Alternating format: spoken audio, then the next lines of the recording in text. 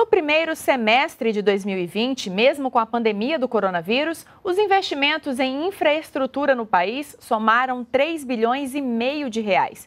E em 2021, a previsão é de novos investimentos no setor com parceria do setor privado.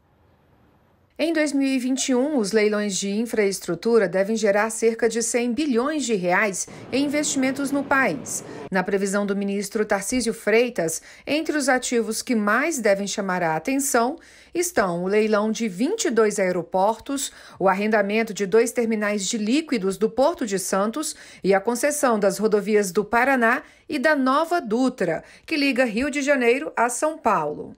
Há chance de sucesso? Os investidores virão? E a resposta é sim, porque é, nós temos os elementos para que eles venham.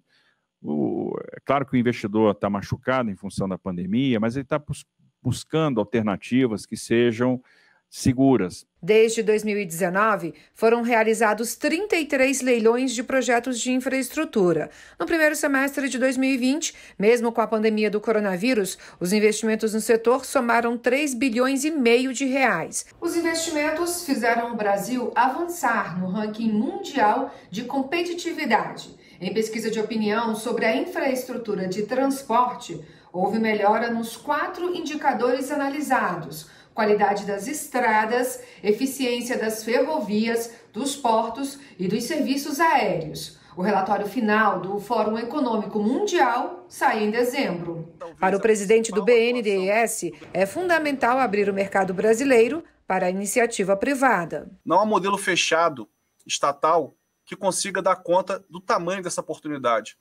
Então, para que a gente possa explorar o potencial que o Brasil tem em infra, é fundamental que a gente abra o mercado.